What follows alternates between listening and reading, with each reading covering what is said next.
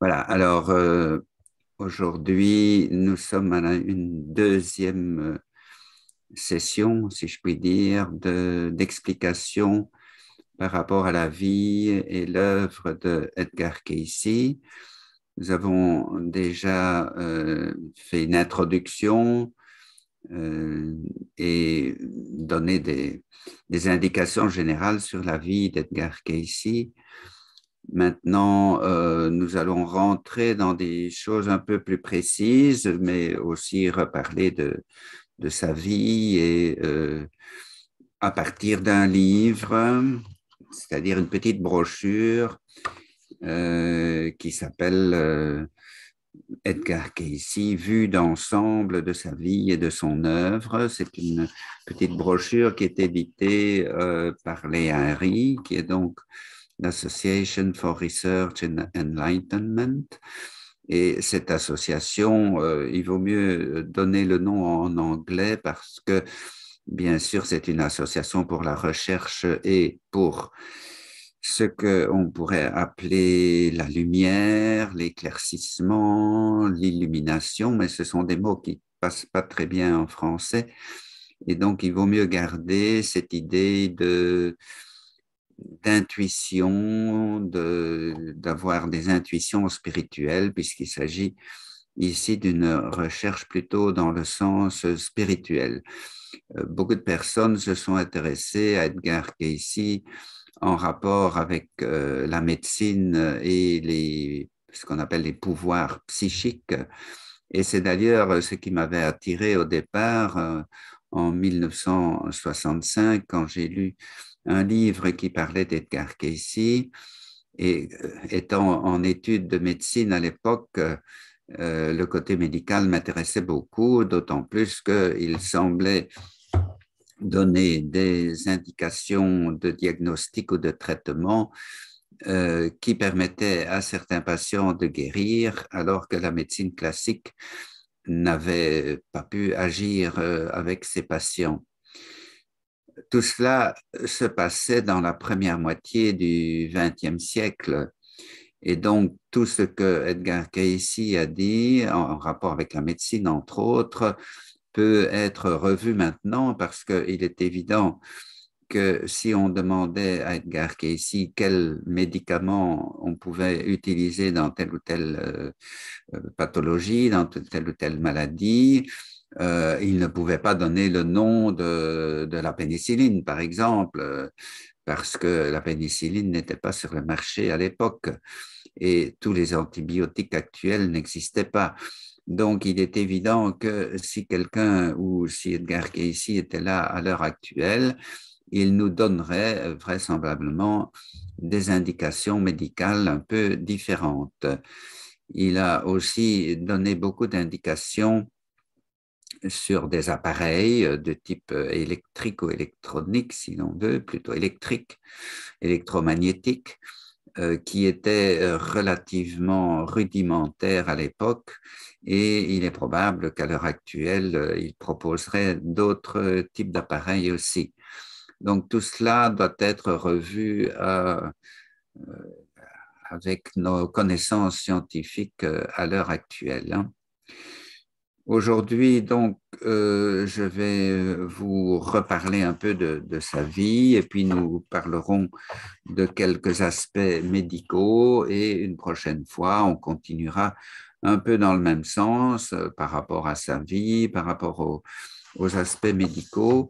Et donc, je rappelle simplement que Edgar Cayce était un, on va appeler ça un voyant, un clairvoyant, c'est difficile de, dire exactement ce qu'il était parce qu'il avait plusieurs facultés paranormales, mais la manière dont cela se passait, c'est que euh, il avait d'abord été malade lui-même, il avait eu une extinction de voix pendant un temps et quelqu'un l'avait hypnotisé à l'époque et il avait retrouvé sa voix normale. Et puis, ça, après l'hypnose, euh, il est de nouveau, il a rechuté, de nouveau, euh, il avait une extinction de voix. Et donc, un autre euh, hypnotiseur de l'époque lui a demandé comment il fallait euh, se guérir ou comment il pourrait lui-même proposer un traitement. Donc, pas seulement faire des suggestions de dire euh, vous allez retrouver votre voix, mais de lui dire comment est-ce que vous pensez qu'il euh, faut guérir votre condition de maladie. Et alors, il a donné des indications et il a dit lui-même qu'il fallait amener euh, la circulation sanguine au niveau de sa gorge et on a vu à ce moment-là que toute la partie supérieure du cou et de la poitrine devenait complètement rouge et qu'il y avait donc une activation de la circulation sanguine à ce niveau. Et ça a duré un certain temps où il était euh, rouge à ce niveau-là. Et euh, suite à cela, il a recouvré la voix et ça a été définitif. Et donc, suite à cette lecture, comme on dit, euh, readings en anglais, euh, et on lui, a demandé, alors en état d'hypnose, euh, comment il pourrait aussi donner des diagnostics pour d'autres personnes. Et je continue simplement sur la manière dont cela se passait c'est qu'il s'étendait donc sur un divan, il était couché donc, et on lui faisait quelques suggestions, mais cependant, on peut dire que c'est lui-même qui se mettait dans cet état parce qu'il avait un processus intérieur qui partait de son front avec une lumière qui lui apparaissait au niveau de la tête et cette lumière descendait vers le plexus solaire et il mettait les mains sur le plexus solaire, les mains croisées et à partir de là, il rentrait dans un état auto-hypnotique euh, très profond parce que lui-même ne savait plus du tout ce qui se passait autour de lui et même les réactions corporelles changeaient parce que euh, il y a des expérimentateurs médecins qui sont passés chez lui avec euh, des bonnes intentions entre guillemets de vérifier s'il était vraiment dans un état hypnotique ou comment ça se faisait qu'il racontait euh, tout ce qu'il pouvait dire dans cet état hypnotique et un des médecins de l'époque l'avait carrément piqué avec des aiguilles assez profondément dans, les mains, dans les poignets. Et donc, il n'avait pas réagi, et donc euh, on avait dit, oui, oui, il est certainement dans un état hypnotique profond, mais au moment du réveil, euh, quand il s'est réveillé, là, il avait vraiment mal aux mains, et il a dit, ça suffit de faire des expérimentations sur moi. Et donc, Edgar Cayce se mettait dans un état auto-hypnotique qu'on pourrait aussi appeler euh, une méditation profonde parce que cet état peut correspondre aussi à des méditations très, très, très profondes, euh, sauf qu'en général, en méditation, les personnes restent conscientes de ce qui se passe autour d'elles et donc ont un contact avec la réalité extérieure ou peuvent revenir par elles-mêmes facilement à la réalité extérieure. Ici, ça correspondait plutôt à un état de type hypnotique profond dans lequel euh, Edgar Cayce avait accès à d'autres plans de conscience, on va appeler ça des plans de conscience, et il pouvait donc donner des informations par rapport aux questions qu'on lui posait. Et les questions que l'on lui posait euh, étaient très variées. On pouvait lui demander, euh, tiens, euh, est-ce que vous pensez qu'il est bon de voyager et d'aller en Europe, par exemple, pour quelqu'un qui habitait aux États-Unis? Est-ce que c'est le moment d'aller en Europe? Ou bien est-ce que la mer sera agitée, qu'il vaut mieux ne pas prendre le bateau aujourd'hui? Ou bien de lui demander, tiens, qu'est-ce qui se passait au siècle dernier euh, en 1885, euh, par exemple. Enfin, pour lui, c'était euh, le siècle dernier, son siècle à lui, puisqu'il a vécu jusqu'en 1945. Et donc, on pouvait lui poser des questions aussi au niveau médical. Euh, euh, comment est-ce qu'on peut guérir une verrue Ou est-ce que euh, cette personne a un ulcère d'estomac et qu'est-ce qu'il faut faire pour le guérir, etc. Donc, les questions étaient très, très, très variées. Et donc, une fois qu'on lui posait des questions, en général, les questions étaient euh, dirigées par rapport à des personnes. Et donc, toutes les questions, pratiquement, euh, pas toutes, il y a une partie des questions qui étaient plus des sujets généraux, mais la plupart des questions, et par exemple toutes les questions médicales, sur les 14 306 lectures qui sont référencées à Virginia Beach, il y avait plus de 9 000 lectures, presque 10 000, qui concernaient la médecine. Et donc, euh, pour toutes ces lectures, c'était toujours en rapport avec des personnes.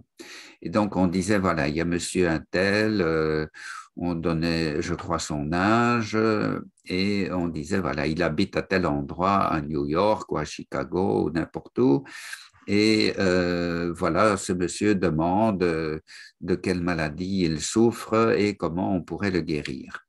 Et à partir de là, avec les indications du nom de la personne et de l'endroit où il habitait, Edgar Casey était capable, enfin Edgar Casey, c'est-à-dire ses capacités psychiques et euh, son inconscient, si l'on peut dire, ses capacités inconscientes ou subconscientes, là aussi il y a des mots différents que l'on peut employer, ou ses capacités d'entrer en rapport avec des plans euh, dits psychiques ou spirituels, d'aller vers une source d'information qu'on pouvait appeler la source tout simplement, la source d'information primordiale à partir de laquelle euh, nous pourrions aussi nous-mêmes connaître le monde ou donner des informations similaires. Évidemment, tout le monde n'a pas les capacités d'Edgar Casey directement, mais lui-même disait très bien, euh, ce que je fais, vous pourriez aussi le faire. Hein. Cela a fait penser d'ailleurs à la phrase de Jésus ou de Jésus-Christ, Jésus-Christ euh, qui disait, j'ai fait de grandes choses, mais vous pourrez en faire autant que moi aussi. Hein. Et donc, euh, toutes les personnes qui ont un certain niveau d'évolution spirituelle ou ce qu'on appelle des maîtres spirituels ont toujours dit que chaque être humain a des capacités et des possibilités d'arriver au même niveau qu'eux et de dire aussi que nous sommes tous frères. En fait, les hommes sont tous des frères. J'ai parlé ici de Jésus-Christ parce que euh, Edgar Cayce était un chrétien euh, de foi profonde, si l'on peut dire, mais aussi donc d'origine de ce qu'on appelle le protestantisme, nous, euh, je crois reliés plutôt à l'Église de type baptiste du, sud des États-Unis, de ce qu'on appelle la ceinture biblique de Bible Belt aux États-Unis. Et donc, c'est quelqu'un qui était profondément religieux et euh, attaché à la Bible. Il lisait, euh, enfin, il avait décidé de lire la Bible tous les ans, donc il lisait complètement la Bible chaque année. Donc, il était très attaché, à la religion, ben, entre autres la religion, bien sûr, chrétienne au départ. Et euh, il a beaucoup approfondi tout ce qui concernait la Bible. Ça, on y reviendra plus tard, mais c'est pour dire que quand il donne des références ou quand il cite euh, des modèles, disons, d'évolution spirituelle, il fait en général référence à Jésus ou au Christ, mais il a aussi parlé d'autres religions ou d'autres traditions spirituelles. J'en reviens à la question euh, médicale. Donc, euh, quand on lui posait des questions sur euh, une maladie particulière, il répondait en rapport avec la personne, évidemment. Donc, il a donné toute une série d'indications pour les maladies qui étaient connues à l'époque, puisque à l'heure actuelle, euh, on pourrait dire, tiens, est-ce que Edgar Casey a dit quelque chose euh, sur la grippe H1N1 ou sur le COVID-19 ou sur d'autres maladies euh, qui sévissent à l'heure actuelle dans le monde? Ben non, euh, puisque ces maladies n'existaient pas à l'époque. Donc, euh, ce qu'il a donné sont des indications sur des maladies. Par exemple, ben, j'ai cité l'ulcère d'estomac, j'ai cité les verrues, c'est banal, mais bon, on lui posait des questions à ce sujet-là. Il a parlé de la sclérose en plaques, entre autres, qui était déjà une maladie bien connue à l'époque, et il a donné des indications de traitement et même de guérison euh, pour les personnes qui ont suivi ce type de traitement, mais qui était assez compliqué.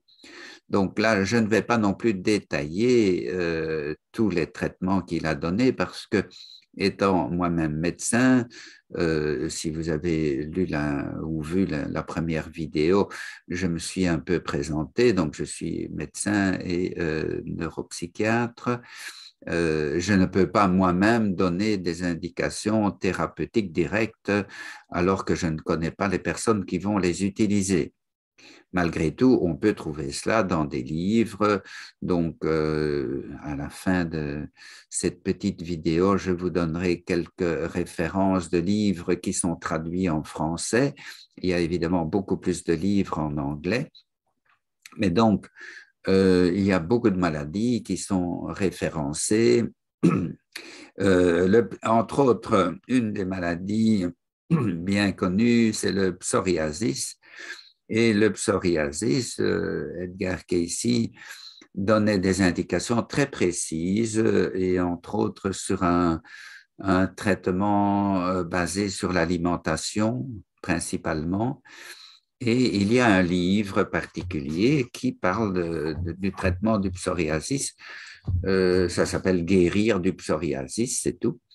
L'alternative naturelle, c'est un livre de John Pagano il a été traduit en français aux éditions Macro. Euh, vous avez tout cela dans la bibliographie.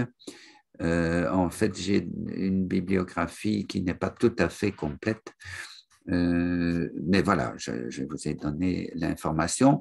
Donc, si des personnes veulent suivre ce type de traitement, je connais des personnes qui se sont guéries du psoriasis en suivant ce type de traitement. Pour les autres, il existe euh, des données très précises, donc il est tout à fait possible de suivre ces traitements, mais il est bon toujours de faire appel à un médecin quand les maladies sont sérieuses. Si je parle par exemple de la sclérose en plaques, il faut faire appel à un médecin, évidemment un médecin bienveillant qui connaît ce type de traitement et qui est d'accord de pouvoir l'utiliser.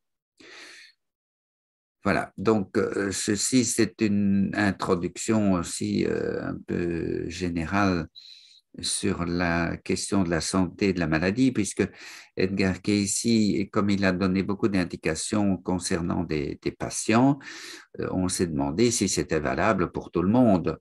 Alors évidemment, quand il donne des indications pour 20 ou 30 ou 50 ou 200 patients qui ont la même maladie, on retrouve des indications euh, assez similaires de l'un à l'autre, donc on peut tirer des données générales. Et euh, aujourd'hui, je terminerai peut-être par là, c'est quels sont les principes généraux de traitement d'Edgar Casey quand je dis Edgar Casey, c'est pas non plus vraiment lui en tant que personne, mais c'est plutôt la source d'informations qu'il pouvait contacter qui lui donnait tous ces renseignements. Et donc, quels sont les principes généraux de traitement? D'abord, euh, pour bien euh, rentrer, si l'on veut, dans le type de traitement euh, que propose Edgar Casey, il faut connaître aussi sa conception ou la conception de l'être humain qu'il a euh, remise en valeur, si je puis dire, puisque c'est pas lui qui l'a inventé, c'est une conception traditionnelle qui dit que nous vivons principalement à trois niveaux, que nous avons trois structures de base dans notre être, qui sont la structure physique, la structure psychique et la structure spirituelle. On peut parler de corps physique, de corps psychique et de corps spirituel, ou en anglais, on va dire la conception body, mind, spirit. C'est donc la conception ternaire qui est complétée par d'autres conceptions aussi. Et à partir de cette conception ternaire de l'être humain, nous voyons tout de suite que la plupart des maladies, en réalité, même si ce sont des maladies physiques, l'origine d'une maladie physique. Si je prends l'ulcère d'estomac en particulier, nous savons bien que l'ulcère d'estomac peut être euh, causé par des causes de stress, entre autres, et le stress est évidemment pas seulement physique, mais principalement psychique. C'est notre esprit, notre mind, notre psychisme qui cause euh, en général notre stress. Et donc, euh, il y a des causes psychiques qu'il faut traiter et aussi, dans certaines maladies, pas toujours, des causes spirituelles, c'est-à-dire des personnes qui ne savent plus très bien euh, pourquoi ils vivent ou quel est le sens de leur vie ou à quoi se rattacher pour avancer dans la vie.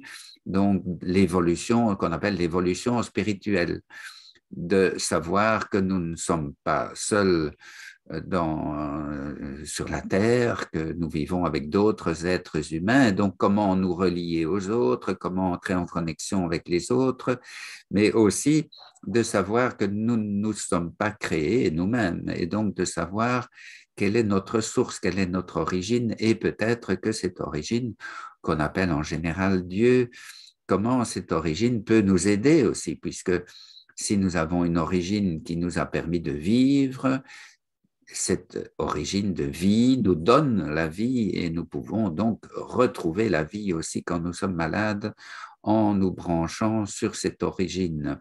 C'est ce qu'on appelle la guérison spirituelle. Mais ce n'est pas uniquement la guérison spirituelle, qu'ici il y avait un système de santé qu'on appelle holistique et donc au niveau physique, psychique et spirituel.